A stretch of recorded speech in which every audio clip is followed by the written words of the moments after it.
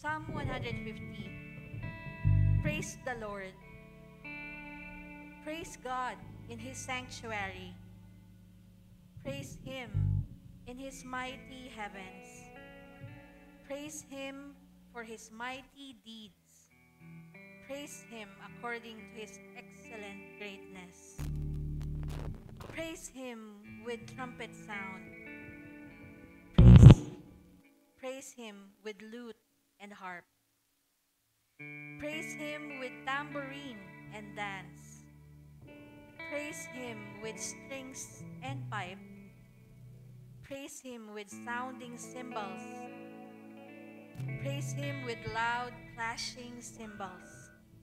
Let everything that has breath praise the Lord. Praise the Lord. Let us pray. Heavenly Father, once again we thank you for this day. Lord, um, salamat dahil binibigyan mo kami parati ng pagkakataon na magsama-sama manambahan sa iyo, Ama. Iba-iba man ang aming mga schedules, iba-iba man ang mga ginagawa namin sa buhay, Lord. You allow for one day na magkakasama-sama kami bilang magkakapatid. Nahaharap sa iyo, magpupuri, magpapasalamat, mag-aawitan sa iyo. Kaya Ama, ngayong umaga, tanggapin mo po ang aming mga alay sa iyo. Tanggapin mo po ang aming mga puso na nasa iyong harapan at handang sumamba sa iyo. Idako mo po safely, Lord God, ang iba pa namin mga kapatid na nagbabiyahe pa or papunta pa lamang dito. And Lord, hayaan mo pong ang iyong salita ay talagang manamnam namin, Lord God, mamaya. We also pray, Lord, for your speaker today, na kayo po ay maging mouthpiece lamang niya. Na yung mga salita, Panginoon, ang mamumutawi sa kanyang labi, Lord God, talagang makakapture namin, Lord, mauunawaan namin mamaya. And Lord, yung fellowship namin with each other, nawa po Panginoon, kayo po ang gumabay sa amin at siya ring mapapurihan, Lord God, sa aming pagmamahal, pagpapakita ng pagmamahal sa isa't isa. Allow us to pray for one another, Lord God, to pray to you na ihain sa iyong harapan, Lord, ang aming mga pasasalamat, ang aming mga hiling. Lord God, samahan mo po kami sa mga oras na ito at hanggang sa pagtatapos ng pananambahan na ito. At ikaw lamang po ang maitaas all throughout, Lord God, this worship service. We love you, Father, and we offer our hearts, our minds, everything that we have to you today. In Jesus' name we pray. Amen.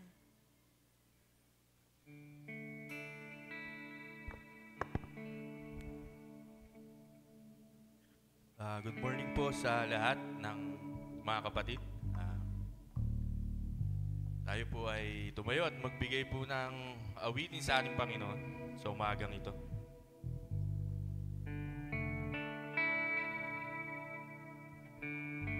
Us focus on God's goodness and mercy this morning. Let's surrender our hearts and our minds this moment ask forgiveness, seek guidance sa lahat ng ating mga pinagdaraan.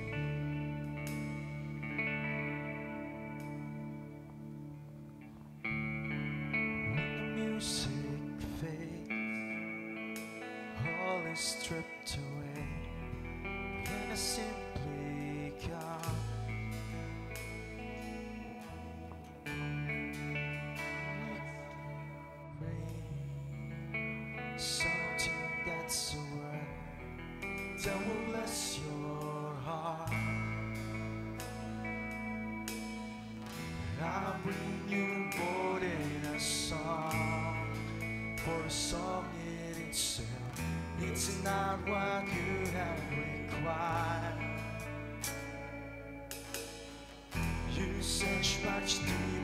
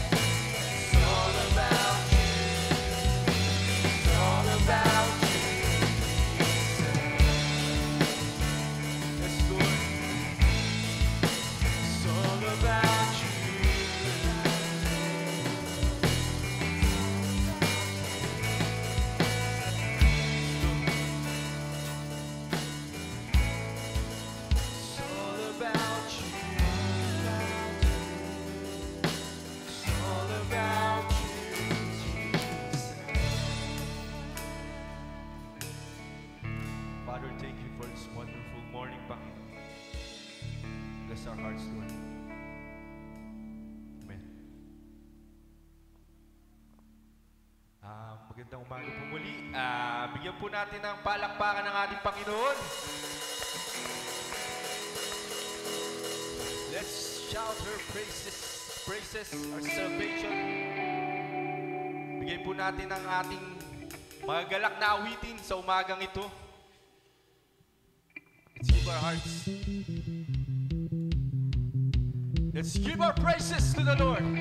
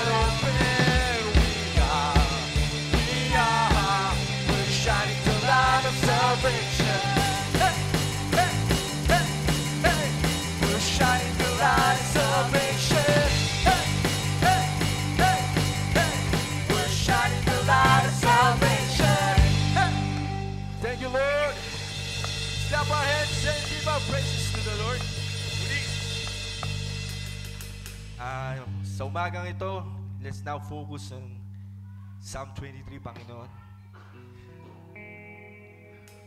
Let's declare God's word this morning through this song.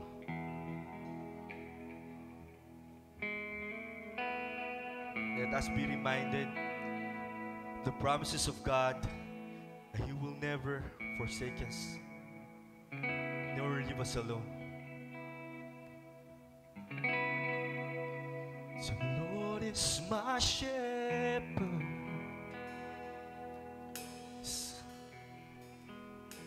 He goes before me. Yes. Defender behind me. We won't fear, Lord. I won't fear.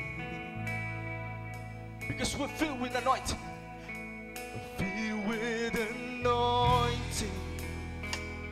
Our cups overflowing. Our cups overflowing. Yes, church, let's sing. No weapon can harm me. I won't fear. If you believe in God's word, let's say hallelujah. Hallelujah. I am not alone. Because He's our comfort. He's my comfort. Always holds me close. He always guides us. He always guides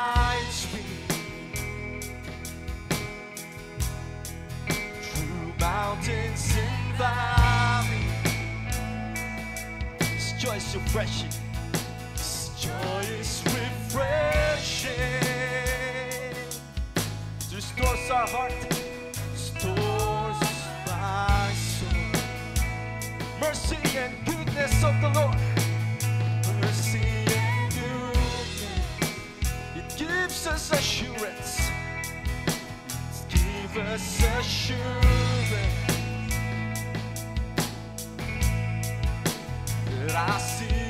His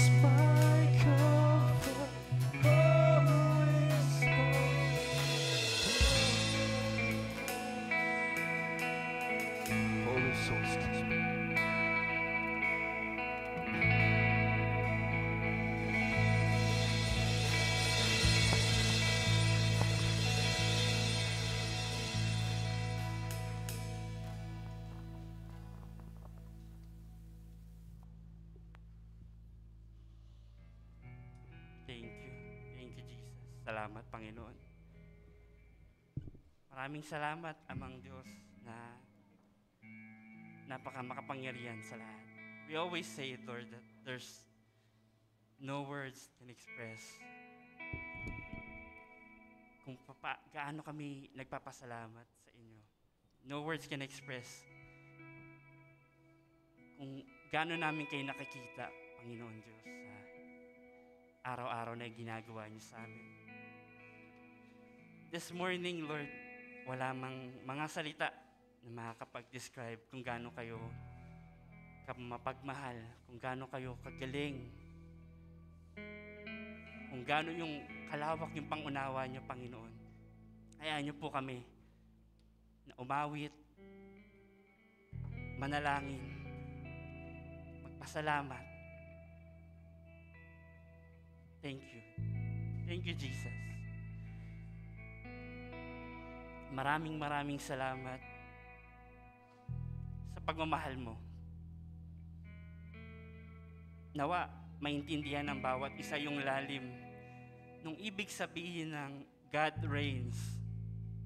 Hindi lang, hindi ka lang nagro-rule over sa mundo, kundi yung pinakamalalim, Lord, is nandito ka sa puso namin.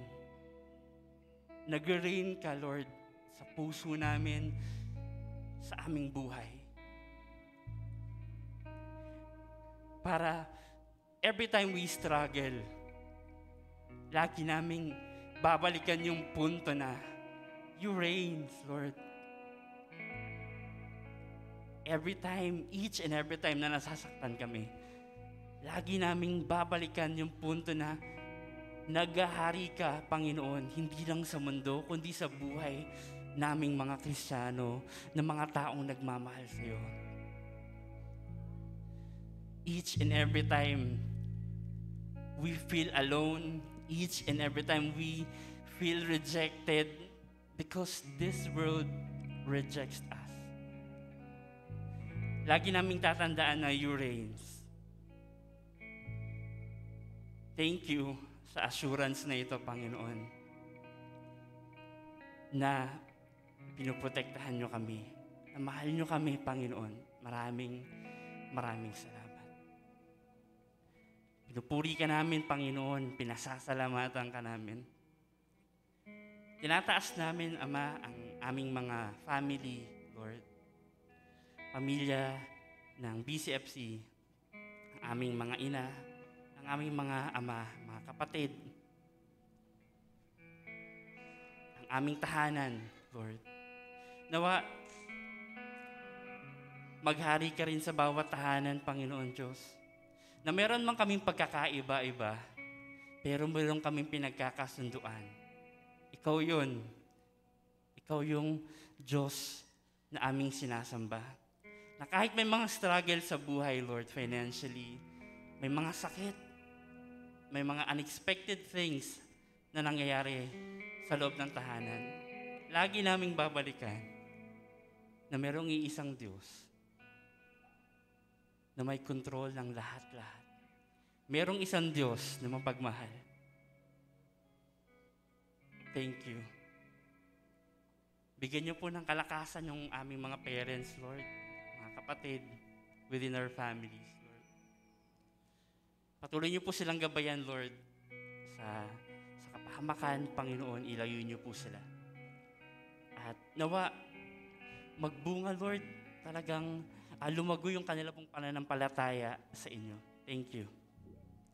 And also we pray sa aming pong simbahan sa Bliss Christian Fellowship Church. Ang aming mga pas- pa- pastors and leaders, Lord, na patuloy niyo pong itinatayo. Alam po namin na talagang ang gawa ng kaaway, patuloy silang talagang sinisilo, patuloy silang sinusubukan. We pray for them, Lord, na lagi silang mag-focus sa inyo. We pray for them. Gabayin niyo po sila kasama po ng kanila pong mga pamilya. Maraming maraming salamat sa mga leaders namin na nag struggle sa mga leaders namin na patuloy talagang china-challenge, Lord. Thank you sa courage nila. Salamat po sa buhay nila. Napatuloy nilang inilalaban, Panginoon, ang kanilang ah, service sa inyo, yung kanilang pagmamahal, Panginoon, sa inyo, through their cell groups, Lord, sa kanilang pang mga ministry sa simbahan. Alam po namin na dahil pa, ah, fast-paced na po yung, yung mundong ito, madali talagang makuha yung attention namin bilang mga leaders. At madali po kami makalimot, Panginoon. Pero salamat kasi patuloy nyo kaming dinidirekta kung ano talaga yung dapat namin priority sa buhay. Thank you, Lord. Na hindi lang ito maging kabigatan sa amin, Panginoon, bilang leaders, kundi makita namin yung pagmamahal, Lord, sa aming service, sa pagtulong namin sa kapwa, sa paggabay namin. Maraming salamat, Lord. Thank you. Thank you, Jesus. Ganun din po ang aming community, ang, ang Bliss. We pray, Lord, na mas ma-maximize pa namin, Lord, kung ano yung ah, binigay niyo sa amin, Father. Para makatulong din po kami, Panginoon, sa community ito. Na mag-shine din po, Panginoon, yung life na binigay niyo sa amin. Na maging asin kami, Panginoon. Maka-influence, Lord, pamagitan po ng inyong pagmamahal, sa pamagitan po ng inyong mga salita. Thank you. At lagi niyo po kaming palalahanan, Lord. Doon mga nagkakamali, pero lagi kaming babalik at babalik sa pagmamahal mo. Sa pagdiligtas niyo sa amin. I-break niyo po yung heart namin, Panginoon, kung paano po nabibreak yung pagmamahal niyo, yung puso niyo sa mga taong nakikita niyo, nagkakasala. Umiiba ng landas. Sometimes, madali lang sa amin, Lord, na makalimutan yung mga bagay na yan. Makalimutan yung mga bagay na ito pala importante para sa'yo. Bigyan niyo po kami ng pusong mapagpakumbaba, mapagmahal. Thank you, Lord. Tinataas namin, Lord, ang aming bansa. Alam po namin, nagiriin, Panginoon, ng pagmamahal niyo.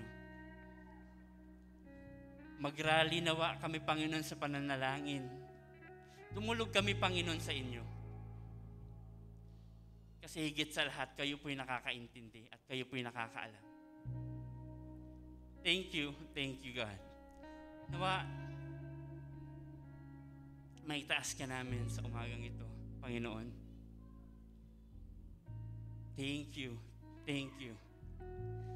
And again, pag sinabi namin, I love you, Lord, we say, I trust you. When we say, I love you, we follow you, God. When we say, I love you, we sacrifice. Ayun yung ginawa niyo, Lord. Thank you. And as a church, we say, I love you, God. Thank you. All these things, we pray in the mighty name of Jesus. Amen.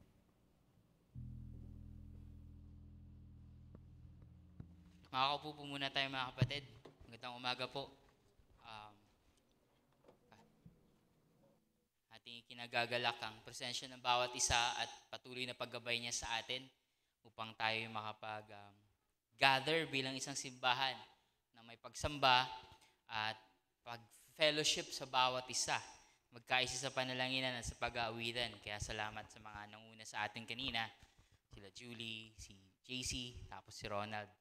Ngayon po ay dadako tayo sa pakikinig at pag-aaral at uh, pag-anticipate ng ibibigay sa atin na mensahe ng Diyos sa umagang ito. And um, Ah, marami po sa atin dito ano po ay nagtatrabaho. Ah, pwedeng sa sa opisina na or sa work from home pa rin. But most of the time, ang nakakasalamuha talaga natin um, almost five days a week ay yung mga kasamahan natin sa trabaho. Tama po? Para dun sa mga nagtatrabaho. And kahit saan ka mang mapuntang lugar, there will always be someone na nandun sa, kumbaga mas superior sa atin in terms of sa role, sa community, or sa role sa eskwelahan, or sa position nila sa trabaho. And there will always be people who are above us, ano? And um, hindi naman po sa pag, the point is not to, to brag, but to inspire, sabi sa homebodies. Hindi, joke lang. Ah, ang asawa ko po ay isa sa mga pinaka ah, hardworking and excellent na employee na kilala ko. Hindi hindi hindi po 'yun ang point ko para i-highlight 'yun, kundi sa kahit sa ganung estado niya ay nagkakaroon pa rin siya ng experience na yung mga boss ay nakakaranas pa rin siya ng cruelty and abuse in terms of sa trabaho. Sino po dito nakaka-relate? Na kahit gaano kayo kasipag sa trabaho, gaano kayo kabait, nakakaranas pa rin kayo ng cruelty and abuse sa mga taong mas nakakataas sa atin.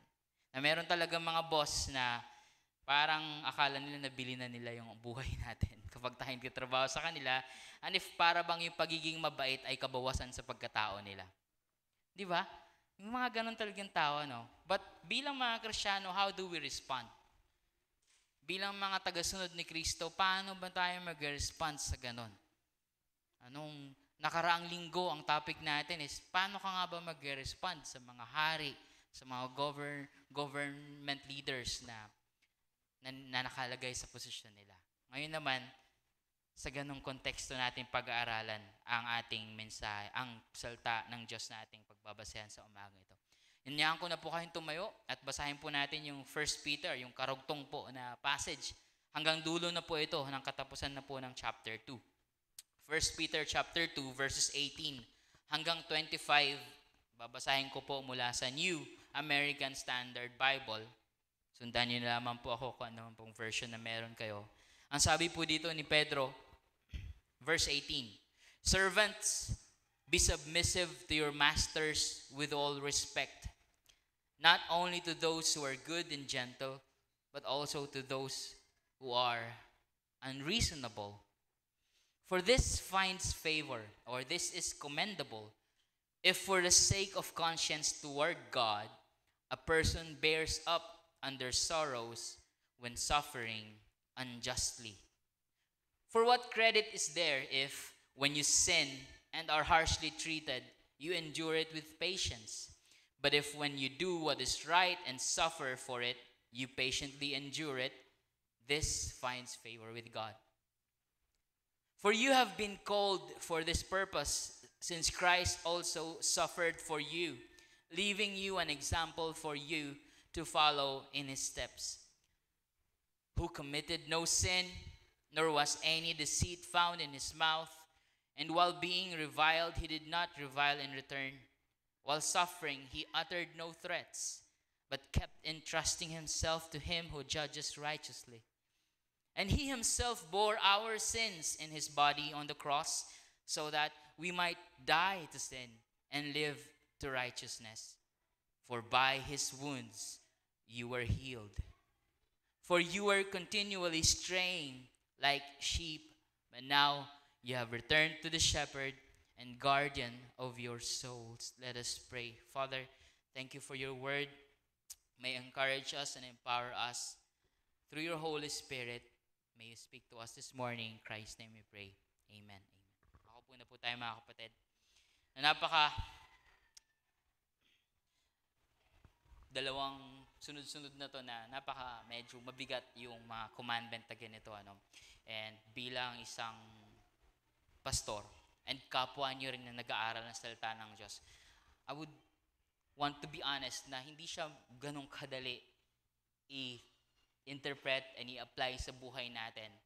Dahil this has a lot this has a lot of layers of um, context bago natin siya dadalhin sa buhay natin ngayon. And itong binasa natin ngayon is one of the passages of Bible na naabuso sa tagal ng panahon, inaabuso para i-justify ang slavery, i-justify yung abuses sa mga kumpanya, abuses sa loob ng simbahan, abuses sa mga sa mga bansa.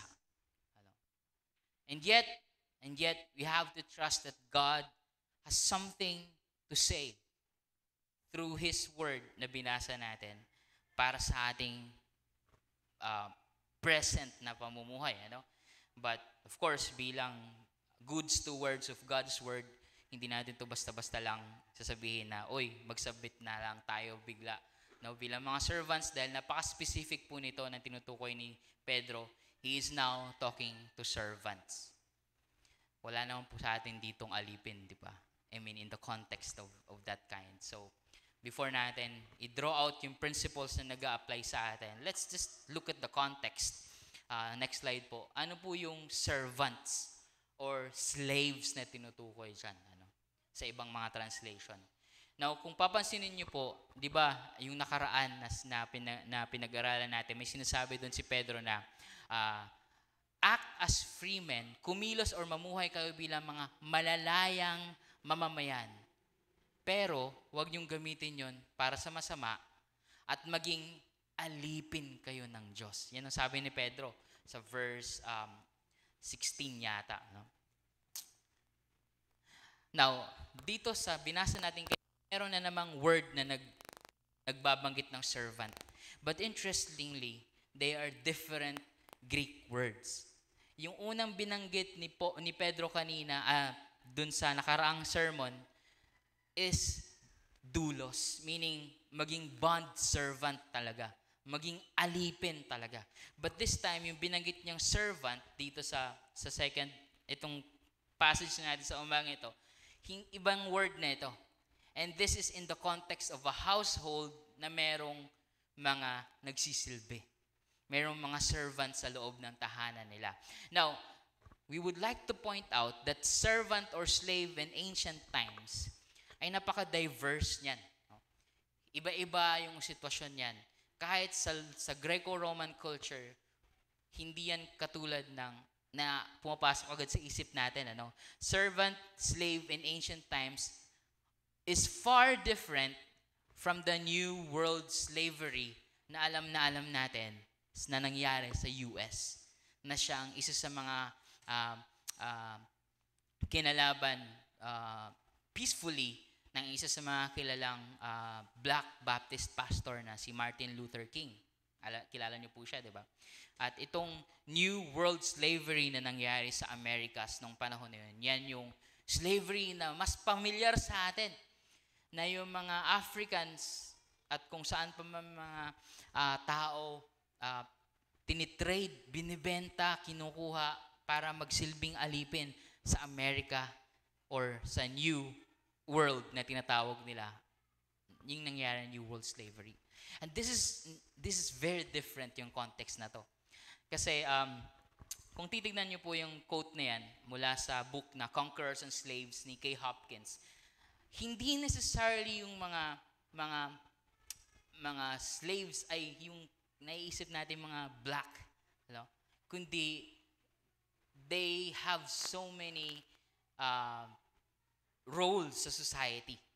Hindi sila necessarily yung nagpapasan na mga mabibigat or or hinahampas-hampas sa likod or nag nag uh, instead na kabayo ang nagbibitbit tao. Hindi hindi ganoon ano uh, it can be anything. Sabi ni Kay Hopkins, it can be doctors, teachers, writers, accountants, agents, uh, bailiffs, overseers, secretaries, and sea captains, all comprised the slave population. At sa Greco-Roman Empire, uh, world, or sa Roman Empire, ang mga slaves composed of one-third of the population. So meaning, kung dadalhin natin sa konteksto natin ngayon, sila yung katumbas ng mga employees. Ano? Sila yung katumbas ng mga employees. Kasi napaka foundational sa Roman Empire, sa economy ng Roman Empire, yung slavery institution. And it's, yes, of course, hindi siya ganun kaganda pakinggan at kahit maging part ka ng slave industry nung panahon na yun, it's not really a good place to be. But we should not also be hasty in saying na makasalanan agad-agad yung ganyang um, structure sa panahon nila. Ano? So, there, y- pwede kang malagay sa isang magandang boss, master, na kapag nalagay ka sa isang magandang master, nakakaangat ka rin socially kagaya ng pag-angat din ng iyong pinagsisilbihan. So what I'm trying to point out is, magkaibang magkaiba yung nasa picture natin na alipin sa slave uh, sa slavery na meron sa ancient world ano sabi ni ni Scott McKnight sa kanyang commentary slavery was a diverse institution in the ancient world. So napakaraming pwedeng mangyari at gawin nila no? Yet the Roman and Greek worlds anchored their entire economic system in this institution. So naka kumbaga sila talaga yung parang labor no? Sila yung working force ng Roman Empire.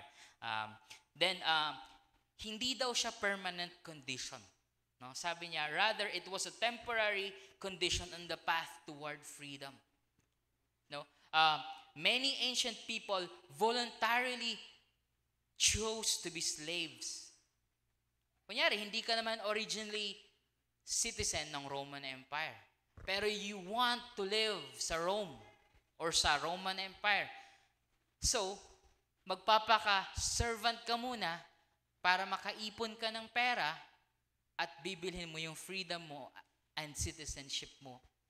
Pwede yun. Or dahil sa kabutihan mo, igagrant sa'yo ng master mo na malaya ka. O kaya ipapamanas sa'yo yung kanyang mga ari-arian. So, um, pwedeng mangyari yun. Now, there's a, there's a certain example, mababasa niyo po sa book of, sa letter ni Paul to Philemon, nasa New Testament, na merong isang ah, slave or servant na nagngangalang si Onesimus na ang kanyang master ay si Philemon. Ah, si Philemon ay isang Christian. Napakaga, napakaganda ng naitulong niya sa movement ng churches in partnership with the Apostle Paul. Now, he has um, a slave named Onesimus na may nagawa sa kanyang kasalanan. Siguro nagnakaw or what, ano? Or nagkautang tapos hindi binayaran. Tapos naglayas itong si Onesimus. He wanted to break free from slavery. But eventually, nung naglalayas si Onesimus, nakilala niya si Paul. At nasharean siya ni Paul. At naging Christian din si Onesimus. So, itong sulat ni Paul, mababasa niya, one chapter lang yan sa New Testament. Sumulat siya kay Philemon, si Paul. At sabi niya, Philemon, pinapadala ko sa iyo si Onesimus, hindi na bilang alipin, kundi bilang kapatid. So, a slave can be freed sa panahon nila. And within the Christian family, no, sa mga churches, mas ma, mas malaking pagkakataon na mapalaya ang isang slave dahil sa kabutihan ng loob ng isang kristyanong master. Ano? So, so what I'm trying to say, mas lalo ko lang dinidiin na hindi siya katulad ng picture natin sa New World Slavery na talagang wala kang kakayanan. Bilhin ang sarili mong kalayaan. No? Na pwede kang patayin anytime. Of course, meron ding mga ganong klase. At yung nga yung tinatawag na bond servant.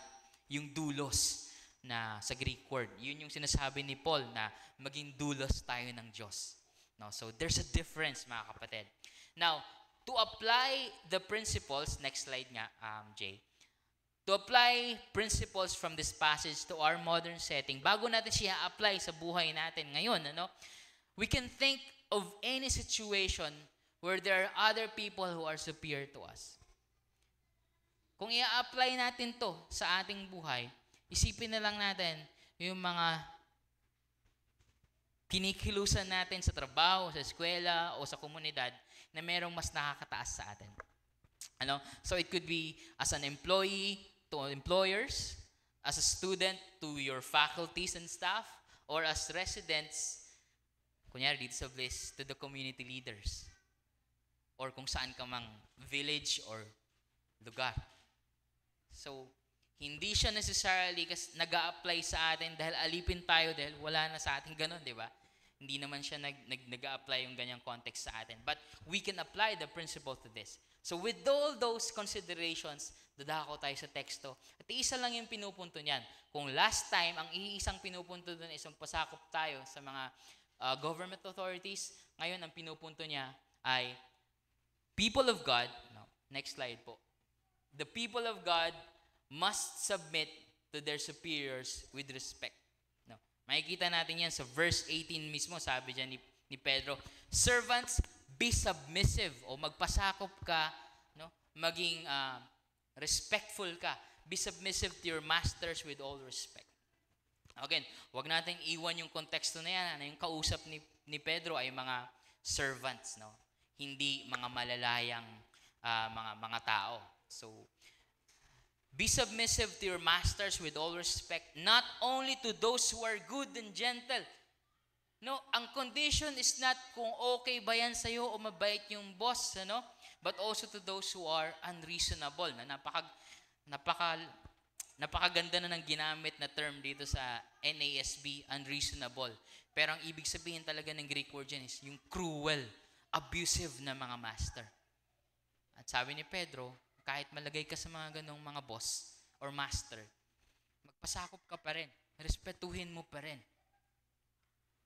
So whenever we find ourselves in that kind of situation, na meron tayong unkind, cruel na superior, I've heard so many stories from our members sa kapatiran na, na may ganun talagang sitwasyon. And it's really a tough time. And I'm nagtitread ako dito sa parang uh, on a tight rope, no? To, to balance things out.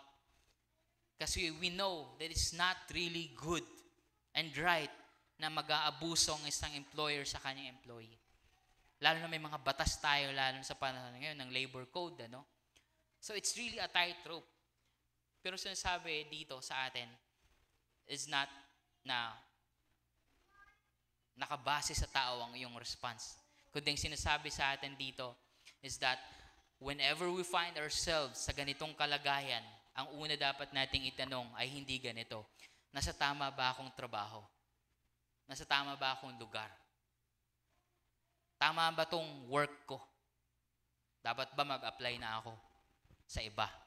Dahil yung boss ko hindi magaling, hindi mabuti, hindi mabait. So the first thing to ask is not those things, but to ask, how does God want me to respond? How does God want me to respond? Of course, we can think of so many things kung, kung kakalimutan natin si God. It is right lang naman, tama lang naman. Oh, umalis na ako dito sa kumpanya na to. Di ba? I want to, I want to protect myself. Tama lang naman, naiwan ko na to. Balance na sa buhay nila. Napakadupit nilang mga employers sila. We have that right. We have that privilege, lalo na sa panahon natin ngayon. And there's nothing really, really sinful about that. No? Wala namang makasalanan sa part na yan. But we should ponder deeper bilang mga Kristiyano. What is God trying to do in my life? What is God saying to me? And in general, ito yung sinasabi ni God. Kung meron ka mang superior or nakakataas sa'yo na hindi mabait, cruel, abusive, pasakop ka bilang Kristiyano. Magpasakop ka. In general, in general. So that's uh, the first thing pala sa slide kanina, sorry. Uh, give respect even if they are unreasonable. No? Kahit na unreasonable sila, kahit na minsan, uh, nag-uumpisa ka ng alas 8 sa trabaho, pero mag-out ka, malapit na mag alas 12 sa gabi, or sa hating gabi. May kilala akong ganyan. Malapit sa akin. uh, yung tipong uh, kailangan mo mag-leave para makapag-focus ka sa trabaho. Nagawa niyo na yun. Nagawa na rin yun ang kilala ko. Malapit din sa akin yun. Ganon, ganon yung mga experience. I'm, I'm sure meron din kayong kanya-kanyang specific situation na para bang pinag-iinitan kayo lagi ng boss kahit wala ka namang ginagawa. Yung para bang pag okay naman siya sa ibang tao pero pag nakita ka, nag-iiba yung tono at nag-iiba yung mukha. Parang nakangiti tapos biglang gisimangon. They're, they're really people sa ating kapatiran na nakakaranas ng mga ganon. So in general, ang paalala sa atin ni Pedro ay maintain order.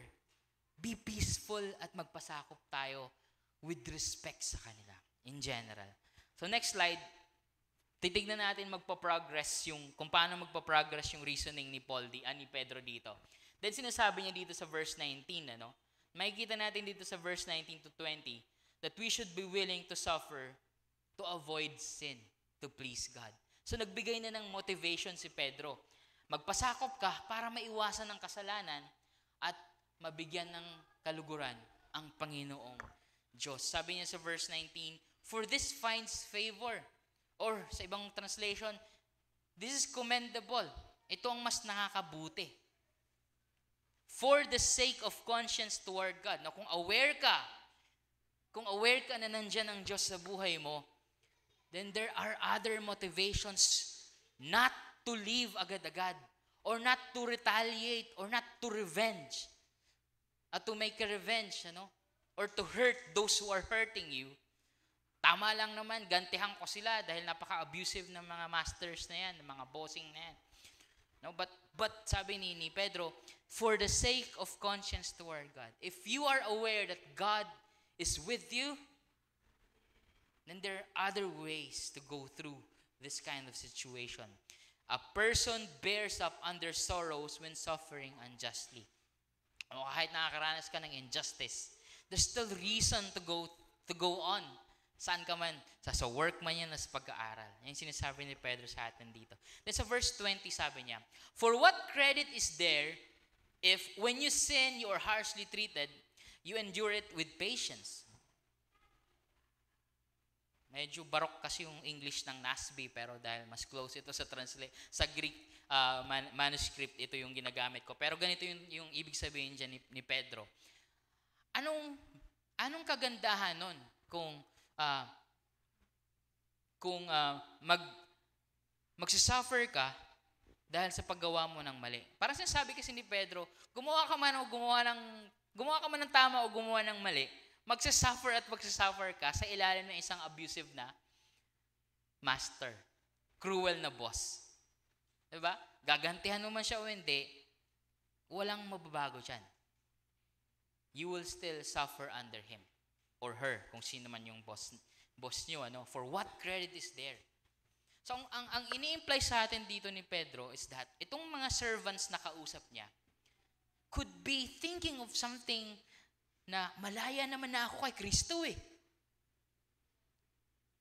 Di ba? Malaya na ako kay Kristo. Iwanan ko na kaya itong mga master na to na malupit. Hindi ko na kaya bayaran yung utang ko sa mga yan. O kaya, pag alis ko, nakawang ko kaya yung mga yan. Or lagyan ko kaya ng lason yung kinakain yan sa pagtulog. Ang sabi ni Pedro, anong, may, anong mapapala mo bilang isang kristyano kung gagawa, kung magsasuffer ka rin naman, pero dahil sa kasalanan, kung dahil sa paggawa ng masama. So, ang paalala ni Pedro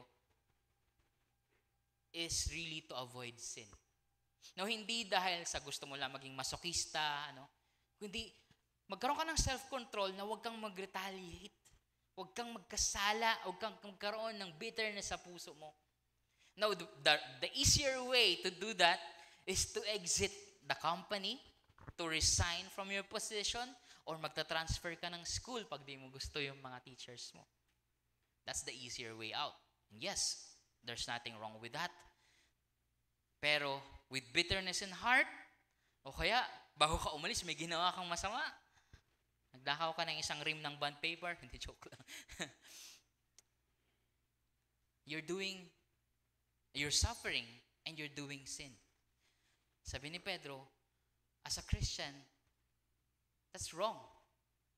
You're not pleasing God. So ang, ang purpose why we submit no, is to please God by avoiding sin. Na pangatlo, yung, yung flow ng reasoning ni Pedro sa, sa next slide, Jay, is that we should be willing to suffer for doing what is right, for doing what is right. No, hindi lang to avoid sin. Yung parang wala akong ginagawa, wala akong kibo, ano. Kundi even at times nagagawa ka ng tama, pero magsasuffer ka pa rin. Now, be willing to suffer for doing what is right, to please God. Sabi sa verse 20, For what credit is there if when you sin and are harshly tra- treated, you endure it with patience?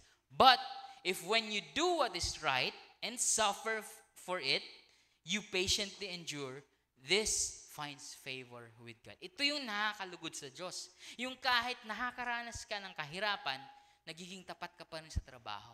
Yung kahit pinagmamalupitan ka na ng boss, hindi ka pa rin natitempt o hindi ka nagigive in sa temptation na awayin siya, nasigawan mo yung kapwa mo employee, employee dahil nag-vent out ka sa kanya, doon mo, doon mo nilalabas yung sama ng loob, siya na rin yung, yung kinakasamaan mo ng loob. So instead of doing that, you pursue what is right. To be righteous and excellent sa ginagawa mong trabaho. And in that way, kahit nagsasuffer ka, you are pleasing God. Dito natin masasabi yung sinasabi natin palagi na, ah, si God naman yung pinaglilingkuran ko. Nagtuturo ako bilang teacher, pero si God talaga yung boss ko. Kung anumang kumpanya, meron ako mga boss, pero sa totoo lang, bilang Kristiyano, God is my boss. Di ba lagi natin sinasabi yun? Ito, ito yun, itong ibig sabihin nun. Ito yung ibig sabihin nun, sabi ni Pedro, bearing, ah, for the sake of good, ah, for the sake of conscience toward God. Yung aware ka na kahit you have human bosses, no, meron ka mga taong mga boss, but there's someone above. There's someone greater na may hawak ng buhay mo. And merong nagbigay na example sa atin, mamaya pag-uusapan natin yan. Pero, at this point mga kapatid, dapat malinaw na sa, sa discussion na to, it should already be clear that the motivation for enduring suffering sa mga abuses, sa mga injustice na mga nasa taas sa atin, the motivation for enduring suffering is not to please anyone. No, na parang, uy, galing ko. Kahit na ganito yung mga boss ko, eh, nag-excel pa rin ako. Ano mo naman ako, bigyan mo naman ako ng credit dito. That- that's not the motivation. Ano? O kaya yung, yung protection na mo yung sarili mo, na to please yourself. No? Hindi yun yung motivation. But the motivation na binibigay sa atin is to please God. To please God. Now, baka sabihin nyo, ay gusto lang yata talaga akong pahirapan ng Diyos. Kasi napiplease siya sa paghihirap ko. Na baka matitempt tayong isipin nyo. But no, this is not because God tolerates injustice. Hindi ito dahil sa okay lang sa Diyos na may mga pang-aalipustang nangyayari sa mga kumpanya na pinagtatrabahuan natin o sa mga schools, ano na may mga pandaraya or mga abuses, ano. That's not it. This is because there's a there's there's a purpose na ginagawa sa atin si God. And there's a proper way, no, para i-address ang injustice and abuse. Proper way na hindi ka magkakasala. So, napag-uusapan namin to minsan sa sa bahay, no. May may sa sa companies, no. There's a right avenue to to vent out yung yung abuses and injustices na nangyayari sa mga kumpanya natin. Tama? Tama. And praise the Lord, may batas tayo na nagpuprotekta sa, puprotekta sa mga employees natin, sa mga laborers natin. Tama? So, they, there are right ways to address yung mga injustice. But retaliation, revenge, bitterness, that is not God's will. No, na parang hindi ka na nakapag-focus sa trabaho dahil punong-puno ka ng galit. Punong-puno ka na ng galit. This is not because God wants us to suffer for the, for suffering's sake, but because God is God is allowing us to go through those things for righteousness' sake, for our transformation. What should be prioritized, mga kapatid, ang dapat natin pinaprioritize in our pursuit is our pursuit to do what is right. Ano ba yung tamang gawin dito sa trabaho? Ano ba yung pwede kong maitulong sa mga kapwa ko employee? Paano ba ako mag excel na magiging tapat ako sa trabaho ko no matter how our superiors may treat us? Sabi ni Pedro, this is what pleases God. This is what pleases God. Now, again, don't get, don't get me wrong, okay, na, na okay lang yung mga ganitong abuses. If you have heard my last preaching, no, nasa kabilang side yun, na ang Kristiyano ay pwedeng mag-rally, pwedeng magreklamo, pwedeng mag-air out ng complaints in a, in a proper way. No? But dito sa specific na, na scenario, ano, sa isang uh, mayroon kang superior, there are also proper ways to air out your grievances, your complaints. Pwede rin yun. Pero ang priority na sinasabi ni Pedro dito is shown for doing what is right. To pursue doing what is right. Now, ang, ang next na, na, na development ng argument ni, ni, ni Pedro dito is that we are called to follow the way of Jesus. Now, we have a higher calling. Kung saan ka nagtatrabaho ngayon, yes, may kontrata kang pinirmahan. Yes, may job description ka na ina-expect sa'yo na ma- ma-fulfill mo. Yes, pati yung mga, mga kapwa mo trabaho, sa trabaho ay may ina-expect din na behavior na ibigay ka sa kanila. O sa pag-aaral mo, meron kang certain grades na maabot, dapat ipasa mo yung mga test, dapat respetuhin mo yung teacher. But more than that, more than that, it is not just checking out yung job description mo, o para lang hindi mo ma-breach yung contract mo, or para lang hindi ka ibagsak ng teacher mo, but because we have a higher calling. And sabi ni Pedro sa verse 21, For you have been called for this purpose, since Christ also suffered for you. This is the way of Jesus. Ito yung, we, always say na, Jesus Christ is Lord. Pero what does that really mean? It means susundin natin siya. Di ba? Pero susundin ba natin siya sa tinahak niyang landas? Dito matitest yung pag-Jesus is Lord natin eh. At yung pananampalataya natin kay Jesus. And whenever we, we experience discomfort, reklamo agad ang bibig natin. Or bitterness agad ang mag-rule sa heart natin. Is that the path that Jesus Christ exampled for us? Of course, no. Sabi ni Pedro, siya mismo, si Christ mismo nag-suffer para sa atin. Leaving you an example for you to follow in His steps. Na hindi ito parang sinasabi ng mga parents minsan, no, ayokong danasin mo anak yung dinanas ko.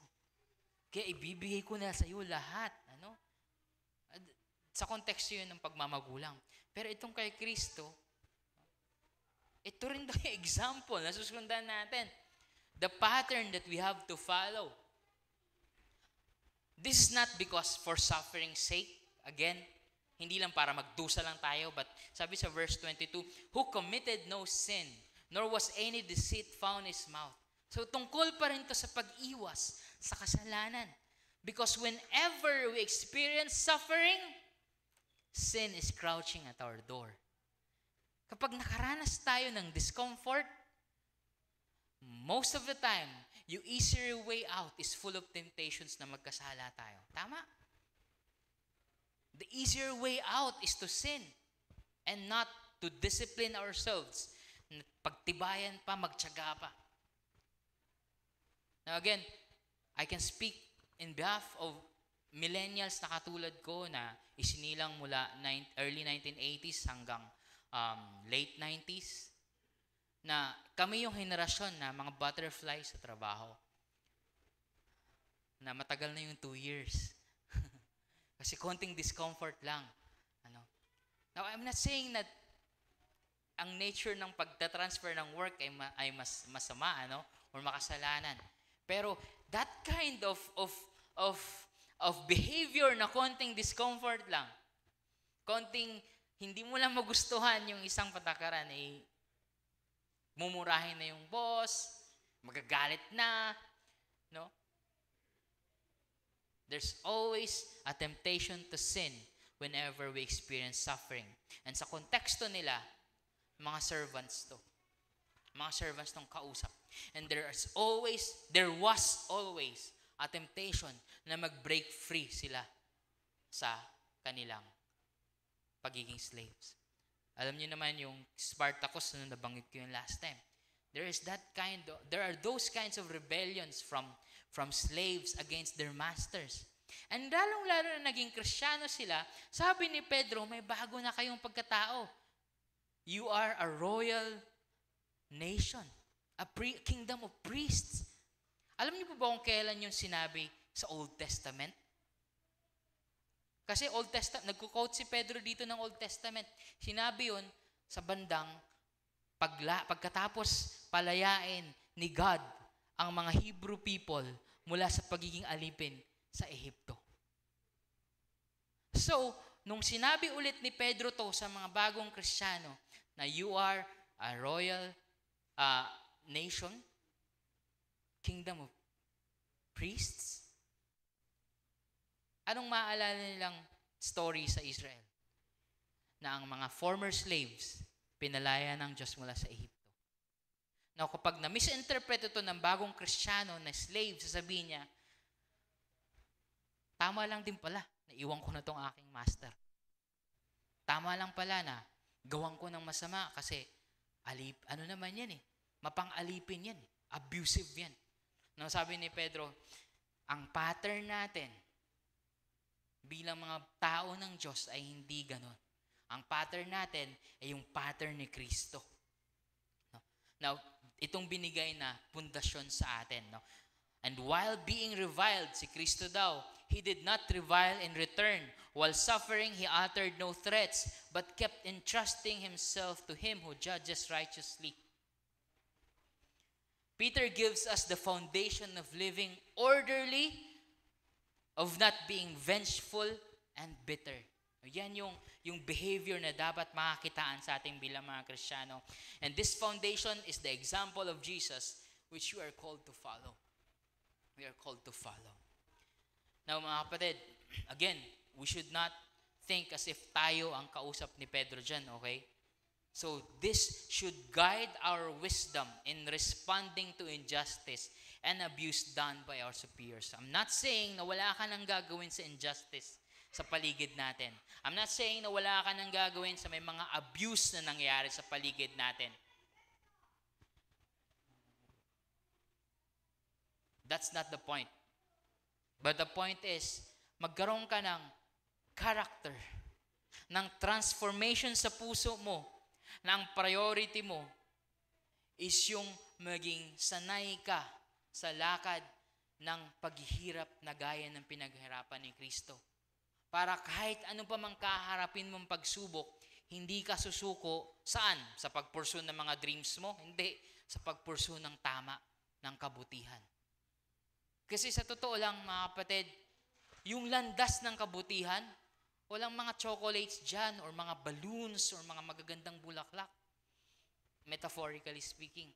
Ang landas ng katapatan, ang landas ng katarungan, matinik yan you will always encounter conflicts.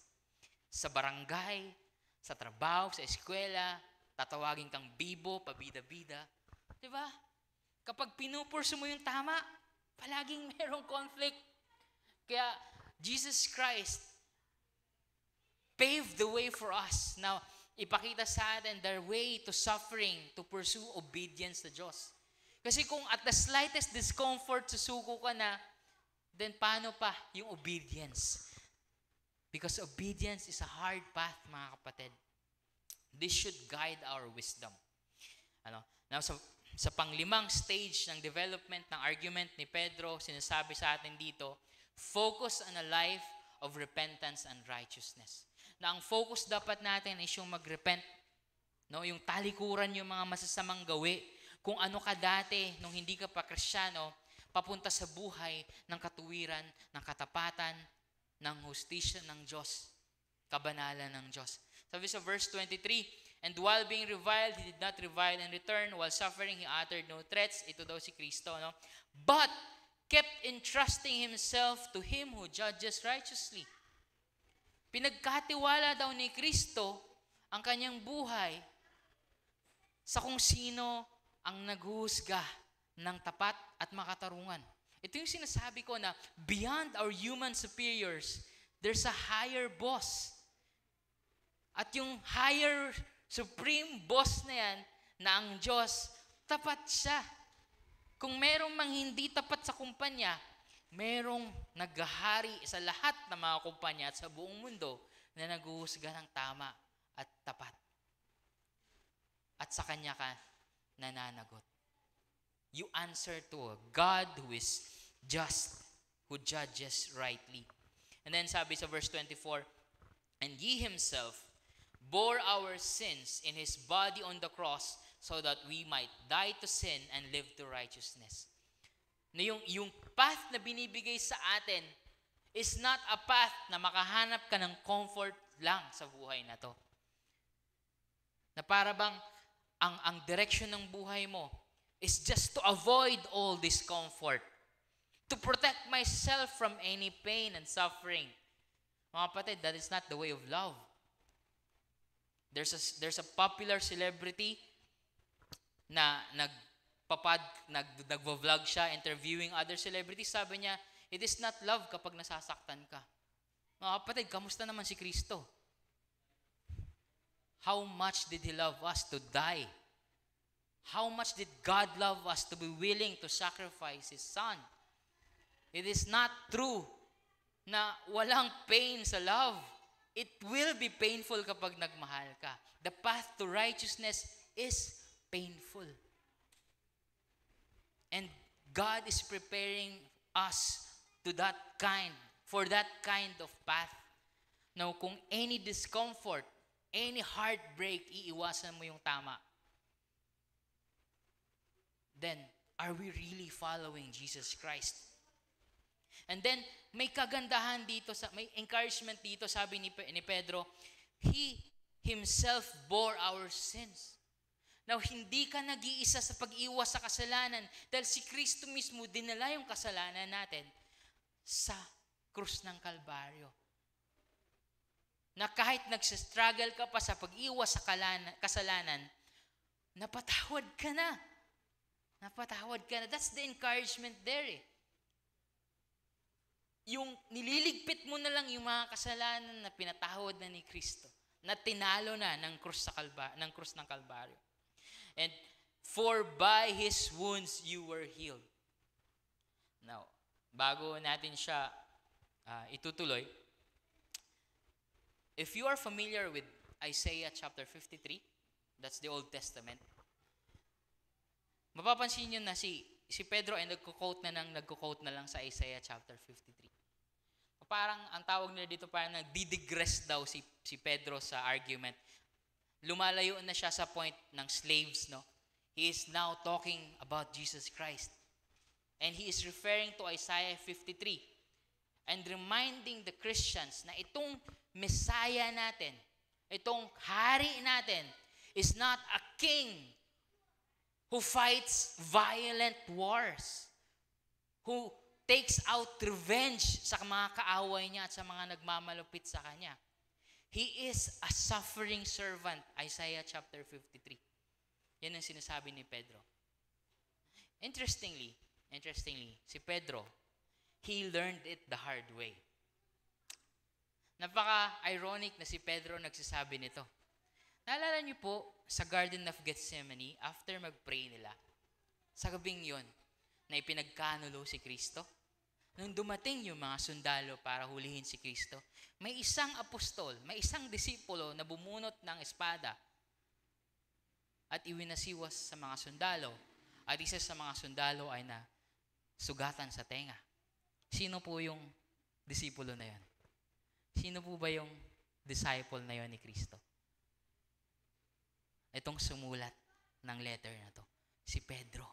He learned it the hard way. Alam mo, ang sarap siguro, ang sarap siguro kung, kung nandong ka, no? Sa, sa transformation ni Pedro, nakita mo sa kanya na napaka-aggressive nito ni Pedro. Eh, Lord, naglalakad ka sa tubig, maglalakad din ako. Lord, pupunta ka sa Jerusalem, mamamatay ka to. Hindi, no, over my dead body, pagtatanggol kita. Nang huhulihin na si Kristo, bumunot siya ng espada at pa- handa siyang pumatay. Pero he saw Christ.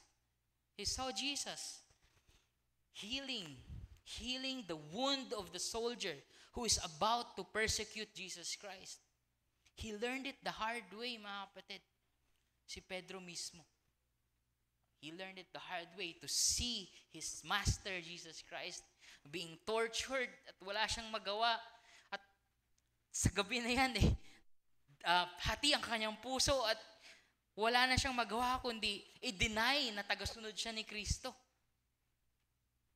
At narinig niya pa mismo na yung sinabi ni Kristo na kapag ikin, uh, i-deny mo ako, titiktilaok yung manok.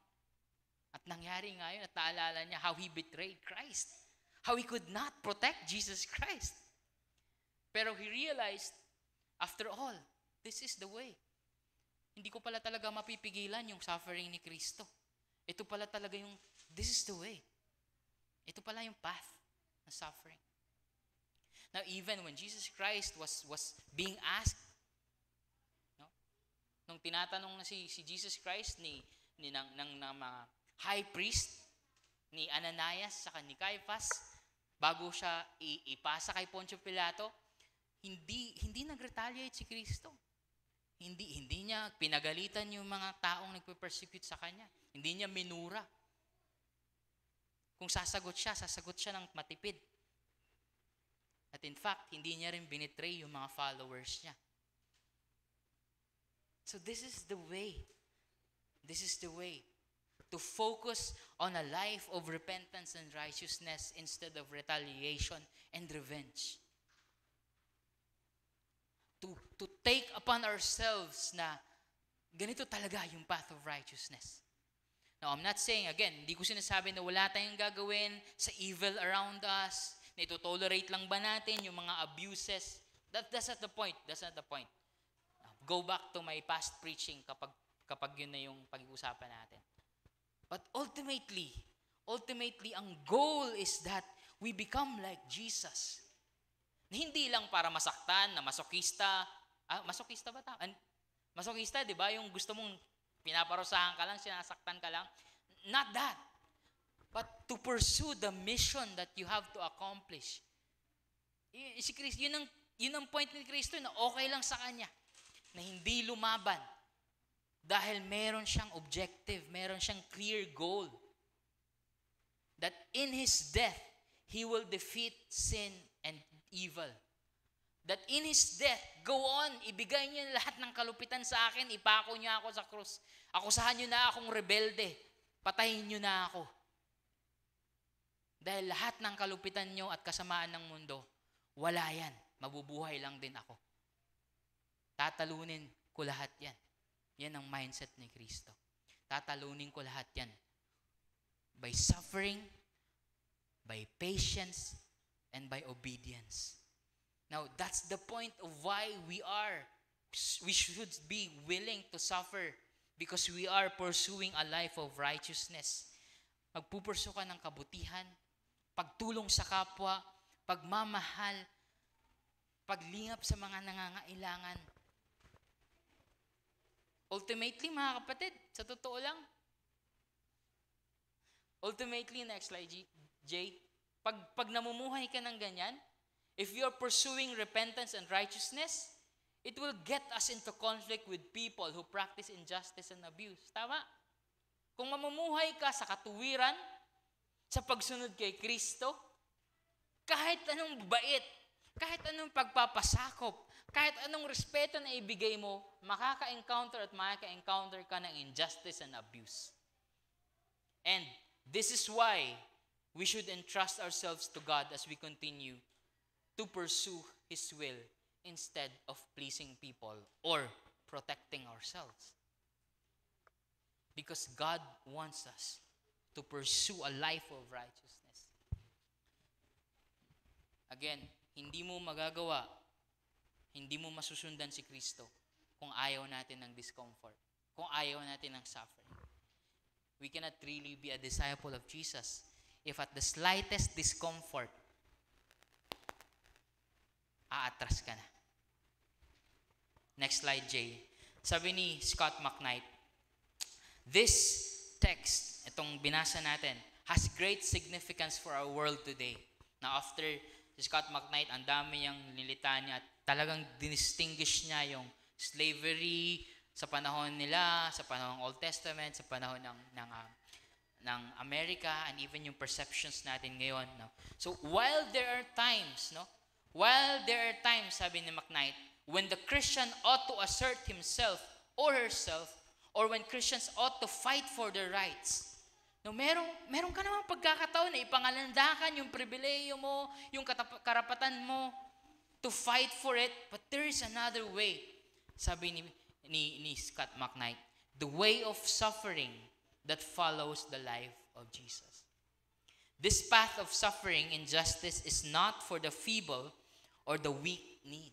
Hindi daw ito para sa mga mahihina. But it is for those who are willing to pick up the cross daily and follow Jesus. Because yung path ni Hesus Kristo talagang mahirap. And that is why, again, we need to entrust ourselves to God. Na, Lord, kahit anong mangyari, hindi ako susuko sa pagpursyo ng kabutihan. Hindi, hindi ko i-give up ang pag-ibig ko sa kapwa. Hindi ako susuko sa paggawa ng mabubuti. Dahil ikaw naman talaga ang maghuhusga ultimately sa akin. May mga boss akong nangaabuso, may mga boss akong malulupit. Heck, they would even fire me for doing what is right. Go ahead, do your worst. God is my boss.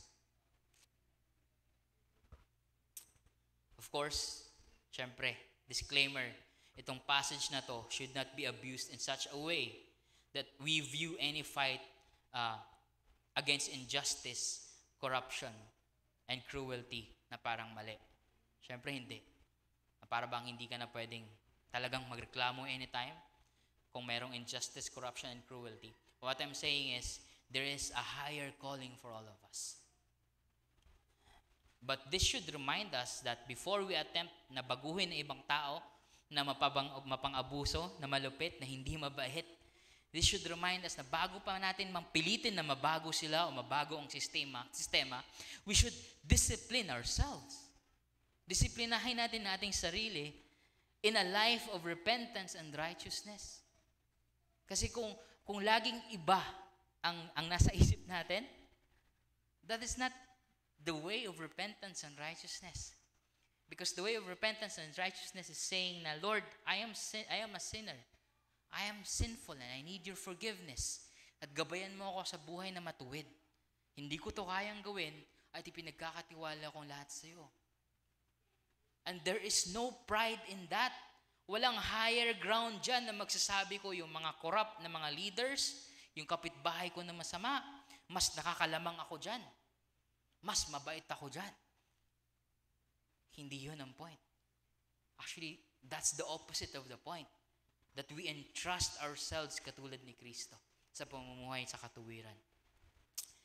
This is not to assert our privileges, to not be complaining in any discomfort, so that we can be able to endure suffering for the sake of the gospel. Ang ultimate purpose natin talaga is masunod si Kristo at makita ng mundo na iba, iba ang response ng mga Kristiyano. This is what actually made the Christian movement explosive sa panahon ng Roman Empire. Na kahit na anong parusa sa kanila at persecute sa kanila, they're willing to go through because they think si Kristo nga eh. Si Kristo nga nag-suffer para sa katuwiran at kabutihan. Ipagpapatuloy nilang ipapahayag na si Kristo ang hari at hindi si Caesar. Na hindi sila susunod pag may pinapagawa na masama. Pagpapatuloy nila ang kabutihan. Ang pagbabahagi ng panahon sa mga nahihirapan.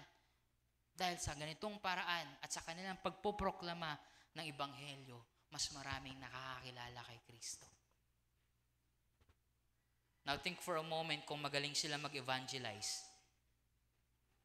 Pero lagi nilang i-assert yung karapatan nila. Sa tingin mo ba, aabot sa ganitong panahon ng Christianity?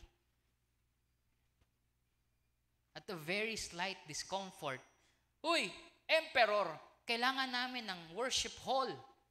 Bigyan mo kami ng karapatan. Mga citizen din naman kami, may karapatan kami magsamba.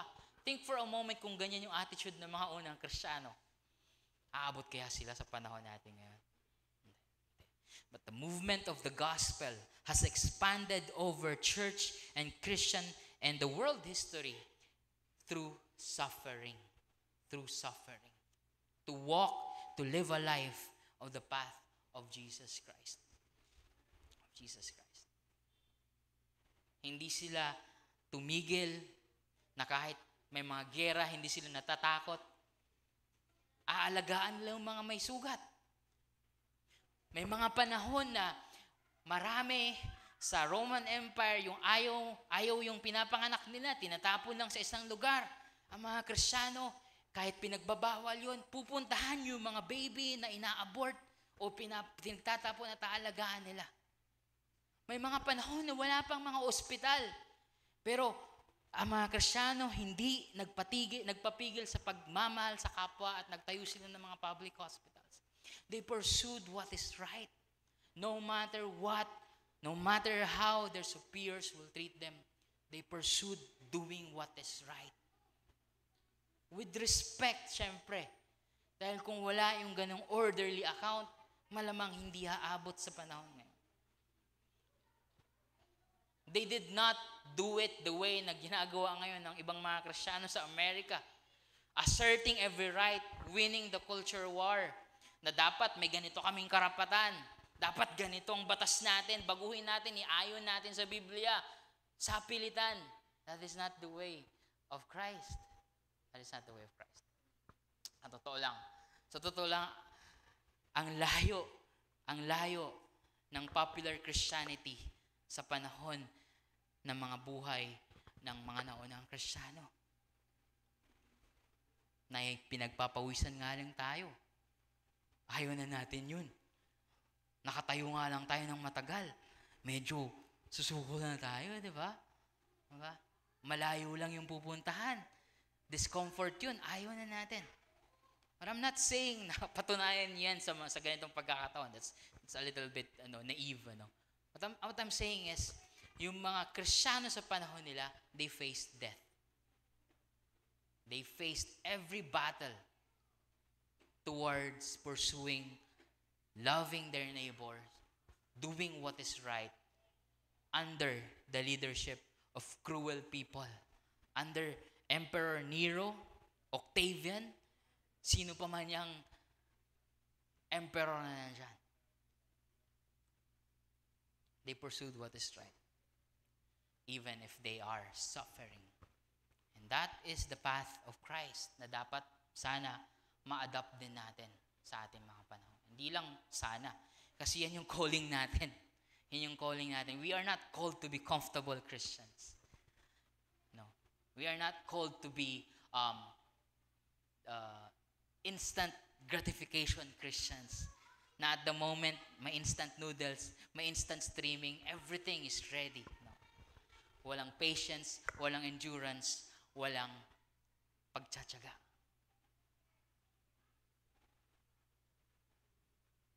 Si Kristo ang ating example. And that is what Peter wants us to, to think of, ano, na ma-encourage tayo sa ganyang pamumuhay. And that is the way na magniningning tayo. Magiging signpost tayo sa karyaan ni Kristo. No? Hin- may mga ibang Kristiyano na sa tingin nila na para mas makilala ang Christianity, kailangan magarbo.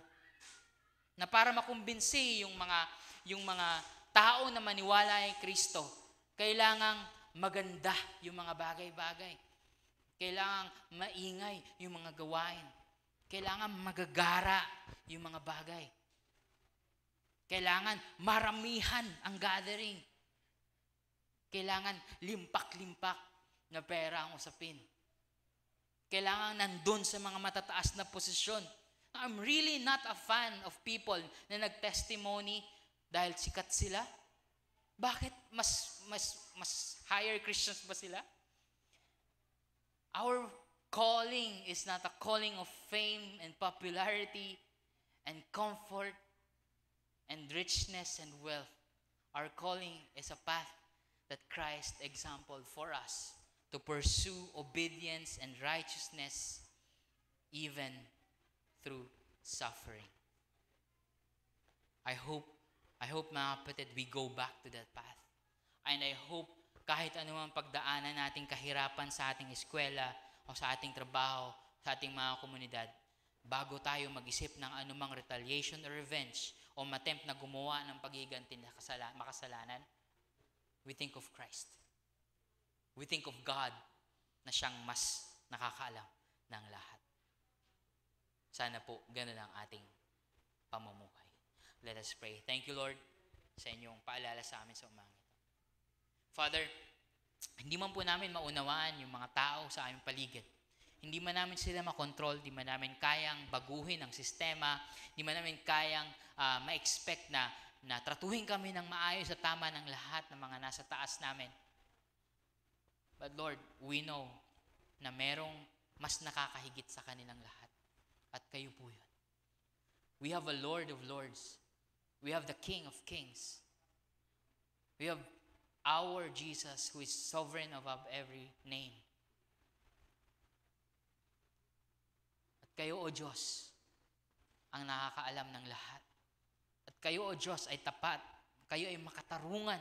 At nakikita niyo lahat ng abuse, lahat ng korupsyon, lahat ng in- injustice, lahat ng, ng kamalian sa mga sistema, sa aming mga pag-aaral, sa, pag, sa mga kumpanya, sa aming mga komunidad, sa aming gobyerno. Pinagkakatiwala namin ang lahat ng ito. At tinihiling namin na bigyan niyo po kami ng wisdom. Wisdom, Panginoon, na mamuhay sa tama, mamuhay ng tapat, at kung bibigyan niyo po kami ng pagkakataon, Panginoon, na labanan ang ganitong mga mga abuses at kamalian sa aming paligid sa tamang paraan, sa mapayapa at sa paraan ni Kristo. Tulungan niyo po kami ng bigyan ng wisdom para magampanan ang lahat. Hindi po madali, Panginoon. Hindi po madali. And that's why we need your grace. And by your grace alone, can we be faithful Christians in this time and age. In Christ's name we pray. Amen and amen.